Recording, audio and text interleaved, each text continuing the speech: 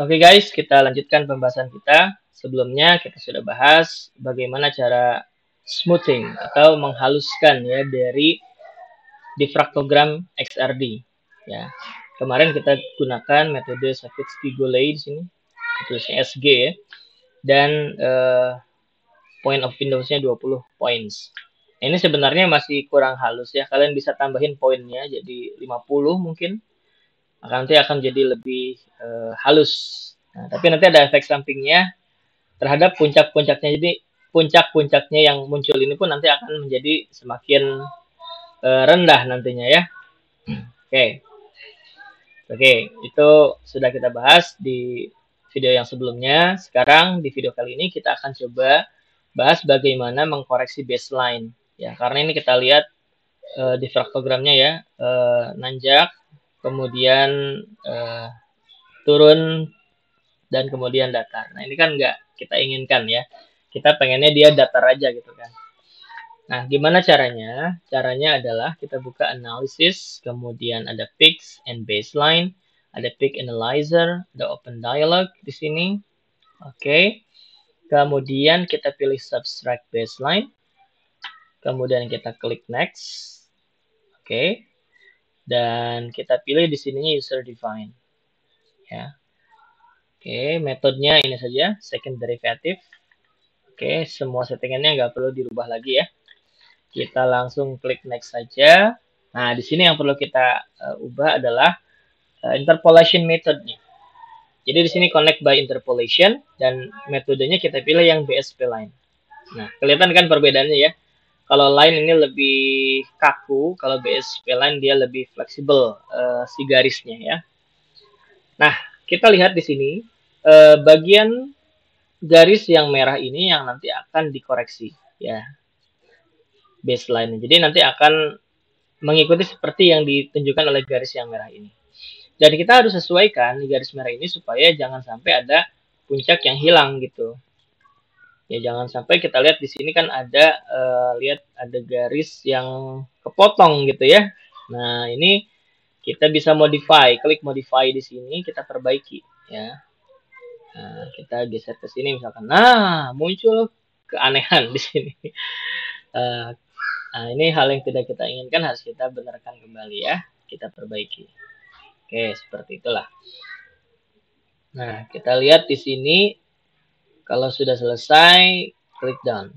Tapi serasanya kita, oh ini kurang nih, ini terlalu panjang nih. Kita harus tambahin poin lagi di sini bisa. Ada di sini menu add ya. Klik add. Nah, double click on the graph to add points.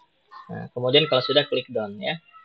Kita misalkan di sini ini karena terlalu panjang ya, kita tambahkan. Nah, you have edit one points, click down or press control plus enter to finish. Klik down saja. Nah, sekarang sudah bertambah uh, points nih. Nah, dengan tambahan points ini kita bisa atur-atur kembali gitu ya. Nah, sampai sekiranya ini sudah cocok. Ya, nah seperti ini kan ini kita sesuaikan kembali. Nah, seperti ini. Ya. Oke. Okay. Kalau sudah uh, klik down. Ya. Nah, ini kira-kira yang ini belum ya. Kita modify lagi. Oke. Okay. Kalau sekiranya sudah, kita klik down. Baik, kalau sudah selesai, nah yang ini kita tambahin lagi satu deh ya, karena ini terlalu panjang jaraknya, kita add. Nah, kalau sudah klik down, kita modify kembali, kita atur-atur lagi. Ya ginilah, butuh kesabaran ya. Nah, oke. Okay. Seperti itu. Kalau sudah klik down. Kalau sudah kita klik next. Ya, di sini ada pilihan uh, subtract. Kalau kita klik subtract, nah maka dia akan langsung uh, berubah. Ya, sesuai dengan yang tadi kita inginkan yang merah tadi. Nah, datanya disimpan di mana? Datanya disimpan di sini. Kita pilih ya, subtracted datanya mau di mana? Klik yang tanda ini. Kemudian kita pilih yang new, new XY. Nah, kalau sudah kita klik finish. Nah, data yang tadi kita klik new exe, XY, XY, sorry. Nah, akan muncul di kolom baru di sini maksud dia. Seperti ini ya. Ini adalah uh, subtracted data yang tadi sudah kita buat. Dan yang sebelah sini adalah baseline-nya. Ya. Nah, yang kita ambil adalah yang subtracted datanya. Kita blok, kemudian kita klik uh, line, line graph.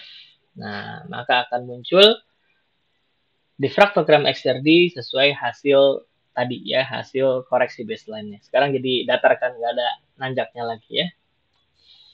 Nah, seperti itulah e, cara mengkoreksi e, baseline dari diffractogram XRD. Nah, cuma kelemahannya ya makin turun lagi. Ya, dari hasil smoothing aja kan tadi udah turun. Sudah ada perubahan dari e, intensitas peaknya. Nah, sekarang udah dikoreksi makin turun lagi. Ya, karena ini yang tadinya di atas kan jadi ke bawah dia. Ini yang tadinya puncak tertingginya di intensitas sekitar 6000 sekian, sekarang jadi di uh, 4000-an. Ya, karena akibat dari koreksi uh, baseline yang sudah kita lakukan. Oke, okay, itu kalau sudah nanti uh, di save saja file uh, save project ya. Kalau sudah di save semuanya sudah uh, tersimpan ya. Jadi ada dua grafik di file ini. Ada satu uh, worksheet, ada uh, dua graf ya. Kalau kita lihat di Windows ini seperti ini. Ada uh, tiga jendela yang terbuka ya. Ini worksheet, kemudian ada graph 1 hasil uh, smoothing dan graph 2 hasil dari uh, apa tadi koreksi baseline. Oke, okay, itu saja mungkin untuk video kali ini. Silahkan kalian mencobanya. Good luck.